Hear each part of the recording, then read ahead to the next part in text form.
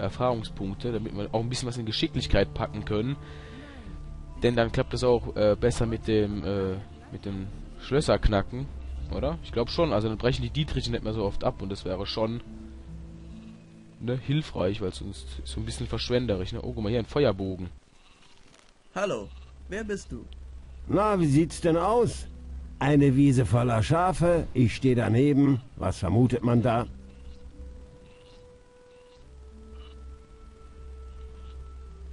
Du bist Schäfer. Richtig, mein Name ist Matteo. Wenn du ein Schaf oder ein Fell kaufen willst, bist du bei mir genau richtig. Wenn du nur reden willst, nicht. Du bist ganz schön gut ausgerüstet für einen Schafhirten. Ja, und das hat auch einen guten Grund. Man wird als Schäfer weder reich noch erfolgreich, wenn man nur mit einem Nachthemd bekleidet und einem Knüppel bewaffnet ist. Wenn Wölfe versuchen, deine Schafe zu reißen, dann musst du ihnen das Fell über die Ohren ziehen können. Danach hängst du die Pferde zur Abschreckung nach draußen, wo die anderen Viecher sie sehen und riechen können. Damit deine Schafe sicher sind, müssen die Wölfe deinen verdammten Geruch kennen und leise winselnd das Weite suchen, sobald du in ihre Nähe kommst. Mhm. Kannst du mir beibringen, Wölfen auch so viel Feuer unterm Arsch zu machen? Könnte ich. Aber dazu fehlt mir die Geduld. Aber ich kann dir zeigen, wie du den Viechern das Fell abziehst. Zeig mir, wie ich Wölfen das Fell abziehe. Komm wieder, wenn du mehr Erfahrung hast. Mhm, mach ich. Verstehe. Bist du denn ein erfolgreicher Schäfer? Ich bin der Beste. Ich habe zwar nur noch ein paar Schafe, aber vor Jahren bin ich damit reich geworden. Ich könnte mir fast neben den dicken Bono auch eine Villa bauen, aber ich bin lieber hier draußen, bei meinen Schafen.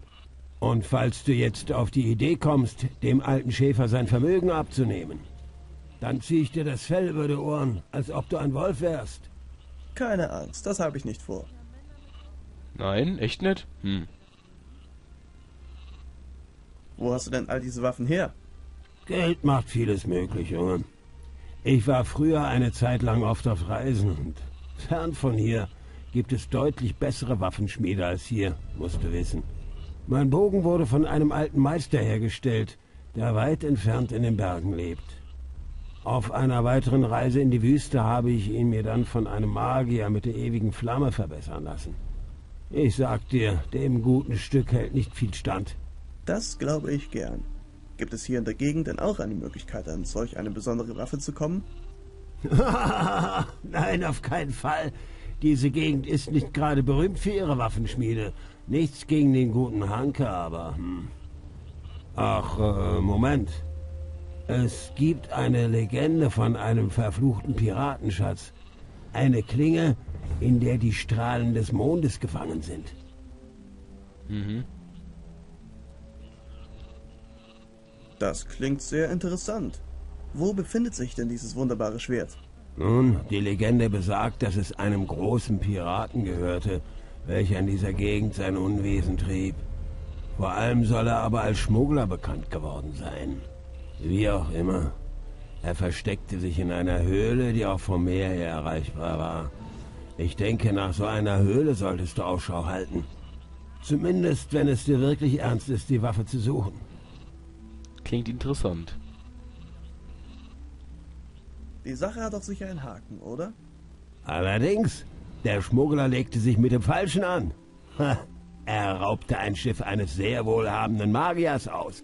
Dieser, so die Legende, schickte ein zweites auf genau der gleichen Route, was natürlich wieder gekapert wurde.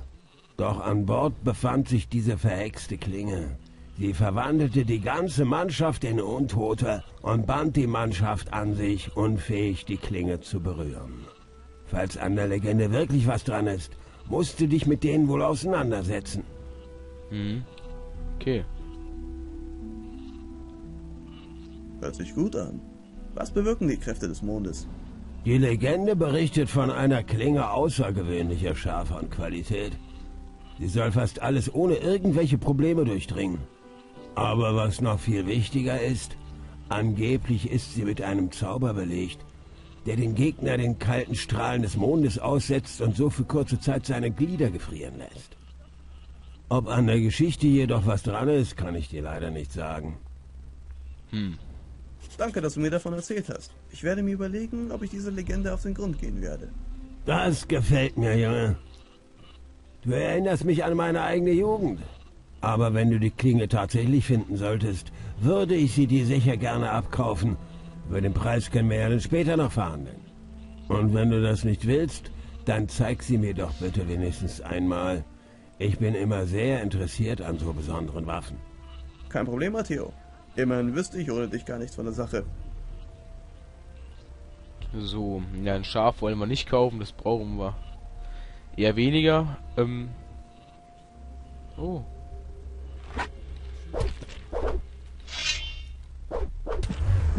Ein Mistvieh weniger. Cool. Da ist nichts zu holen. Zusammen sind wir jetzt auf den Kolibri losgegangen. Auf einen kleinen, unschuldigen Vogel, der sich nicht wehren, wehren kann. Das ist ja auch sehr toll. Nach Remba zum neuen Leuchtturm. So, wir legen uns natürlich erstmal mit den Feldräubern an. Das ist das eine. Hier ist eine Hacke. Das sind sogar zwei. Mal gucken, ob wir das schon hinkriegen.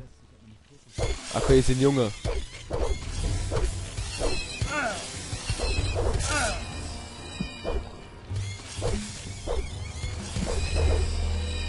So, Nichts zu holen. ging doch.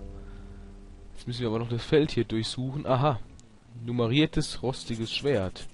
Genau mit den Lieferproblemen da. Wegen dem Rogan. So, hier haben wir noch einen Schädel.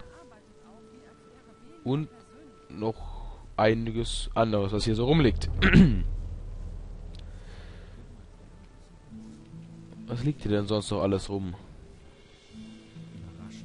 Oh. Danke, dass du die Feldräuber auf dem Feld vertrieben hast. Kein Problem. Ach, deshalb hast du eine Pause eingelegt. Hm, könnte man so sagen. Warum bist du nicht einfach zu den Wachen gegangen?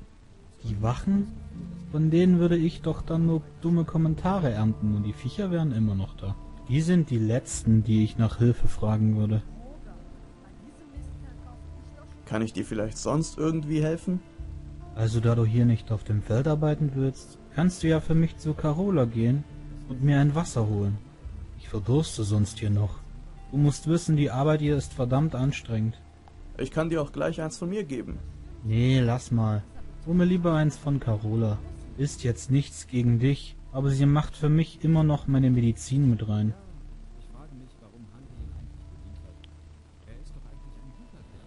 Okay, ich hol dir dein Wasser. Ich danke dir. Moment, da war noch was. Was ist das denn für eine Medizin? Ach, nur für meine alten müden Knochen, nichts Besonderes. Sie verleiht mir einfach mehr Kraft bei der Arbeit. Klingt gut. Hat Carola davon noch mehr? Sicherlich. Frag sie doch einfach mal danach. Okay, mache ich mal bei Gelegenheit. Gut, dann, ne? Kommen jetzt die einfachen Aufgaben. Erstmal, weil eigentlich ist ja am Anfang immer so, dass die Aufgaben relativ simpel sind und auch nicht gerade lang dauern. Oh, da war was. Ah, zu rauchen. Naja, auf jeden Fall. Aber hier sind die Anfangsaufgaben schon teilweise wirklich kompliziert. Das ist schon, also die ausrauben, ne? Da mit Rogan und Ortolf und so. Aber egal. Darum kümmern, kümmern wir uns auch noch und so schwer ist es ja auch nicht. Ich soll Henry sein Wasser bringen. Ja? Bist ein guter Kerl, dass du ihm ein wenig unter die Arme greifst. Hier hast du es. Einfach so? Du willst kein Gold sehen? Nein, Henry und ich kennen uns gut. Er braucht bei mir nicht zu bezahlen. Okay, dann mal wieder zu ihm, um ihm das Wasser zu geben. Kannst du mir auch solches Wasser geben? Warum denn das? Bist du krank? Nein, aber Henry sagte, dass diese Medizin im Wasser stark macht. Das stimmt schon. Allerdings bringt sie für gesunde Menschen Nachteile mit sich. Dein Körper muss sich erst daran gewöhnen. Jemand wie dich würde diese Medizin also anfangs schwächen. Aber sobald sich dein Körper daran gewöhnt hat, stärken. Na gut, kannst du mir nun etwas davon geben? Wenn du willst, verkaufe ich dir eine Flasche für 50 Gold. Okay, das wäre nett, danke. Ja, aber die kaufen wir natürlich noch nicht, denn wir brauchen das Geld ja noch für die Waffe von Ort, also die Waffe für Ortolf. Ne? Hat er uns ja 700 gegeben, deswegen müssen wir das als erstes erledigen. Wo ist denn Henry? Hä? Wo ist denn der? Verdammt, wo ist denn äh, Henry, Henry hin? Ich sollte mal Piero oder Matteo fragen, ob sie gesehen haben, wo er hingegangen ist. Okay, können wir machen.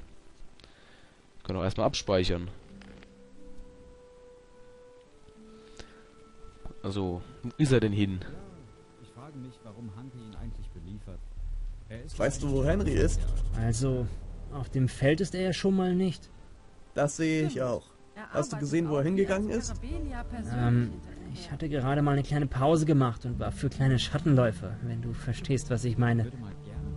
Aber jetzt, wo du es sagst, wo ist denn mein zweiter Kollege Derek hin? Naja, die tauchen schon alle wieder auf. Hoffe ich zumindest. Na gut, dann störe ich dich mal lieber nicht länger bei deiner wichtigen Arbeit. Pass aber das nächste Mal besser auf. Halt jetzt bloß die Klappe oder es knallt. Bin hier schon weg. Stimmt, der andere, die andere Wache ist auch weg. Was ist denn hier los? Nein, bisher noch nicht. Armer Henry. Hast du Henry gesehen? Ja, verdammt! Es ging alles so schnell. Ich äh, wollte helfen, aber äh, Ganz ruhig, was ist passiert? ein Rudel Wölfe hatte sich angeschlichen und ihn angegriffen. Ich habe natürlich sofort meinen Bogen gezogen und sie unter Beschuss genommen, aber zerrten Henry weg. Wo sind sie hin? Ich äh, weiß nicht. Ich wollte sie verfolgen, allerdings stürzte ich und äh, verletzte mir den Knöchel. Wie soll das auch anders sein? Einer der Torwachen ist ihnen allerdings gefolgt. Ich konnte nur sehen, wie die Wache in Richtung der Höhle da vorne lief. Aber äh, sie ist bisher auch noch nicht zurückgekehrt. Das klingt ja gut. Naja, ich versuche die Wache mal aufzuspüren. Hm. Ja, das war's wohl mit der Hilfe für Henry. Also hier ist ja schon was los, ne? Muss man ja sagen. Ich wollte aber allerdings noch kurz was anderes erledigen, und zwar wegen Ortolf, wegen seinem Lieferantenproblem oder wie das auch immer heißt. Ja, Lieferprobleme. Aber gucken wir erstmal, was wir dabei haben. Komisch, in das Schwert ist eine Nummer eingraviert und dann ein rostiges Schwert. Ja gut, äh, nur höhere Anforderungen, das bringt's ja total. Nein, bisher noch nicht. Ich wollte mir aber nachher gleich eine Schüssel von ihr holen. Ich habe ein Schwert auf dem Feld gefunden. Es ist zwar total verrostet, aber man kann auch eine eingravierte Nummer erkennen. Hier, wirf mal einen Blick drauf. So, eine Nummer also. Solche Nummern verwendet man in der Regel, wenn man größere Mengen des gleichen Modells liefert, um den Überblick zu behalten. Eine Waffenlieferung weist natürlich auf Brogan hin. Aber der hat doch eigentlich Hanke. Also warum sollte er von irgendwo außerhalb Waffen beziehen? Hm, sehr merkwürdig. Aber könnte das Schwert nicht einfach so schon eine Weile dort liegen? Nein, das bezweifle ich. Wenn es schon länger dort liegen würde, hätte Henry es sicher auch schon gefunden. Immerhin arbeitet er fast jeden Tag dort. Wahrscheinlich wäre dieser Idiot sogar einfach hineingetreten und hätte sich den Fuß abgeschnitten. Und innerhalb von einer Woche verrostet es so sehr? Da muss es aber ein sehr billiges Material sein. Hm. Du bist verdammt scharfsinnig, Bursche. Selbst bei dem beschissensten Stahl sollte es nach einer Woche nicht derart durchgerostet sein. Da hast du recht. Wenn du mich fragst, sieht das eher nach einer unsachgemäßen Lagerung aus. Richtig. Schließlich lagert niemand eine Kiste voller Waffen im Wasser. Das stimmt. Aber so blöd müssten sie ja gar nicht sein. Es reicht, wenn die Waffen irgendwo gelagert werden, wo viel Wasser in der Luft ist. Eine hohe Luftfeuchtigkeit, feiner Wasserdampf oder spritzende Gischt. Irgend so etwas halt. Wenn dir eine solche Stelle hier in der Gegend einfällt, solltest du dort einmal nachsehen. Das Schwert behalte ich erst einmal. Hm, okay. Gut, dann, ich würde gerade noch mal kurz äh, gerne zum Jasper, ne? Ja, Jasper hieß er, oder? Der Typ vom Anfang. Ich glaube schon. Wir bei dem äh, fünf Punkte auf. Wir haben doch zehn Punkte, ne? Jo. Jetzt will ich fünf Punkte auf Stärke haben, zwei auf Geschicklichkeit und dann noch äh, will ich lernen, den Wölfen das Fell abzuziehen. Bring mir was bei. Oder warte. Ähm. Oder sagen wir mal 5 auf Geschicklichkeit und 2 auf Stärke. Ich glaube, Geschicklichkeit ist ein bisschen Gut, besser. Bursche, du bist schon um einiges stärker geworden. Ja, Sehr gut. Je geschickter du wirst, umso besser kannst du auch mit dem Bogen treffen. ja, ja, ich weiß. Bin ja nicht dumm.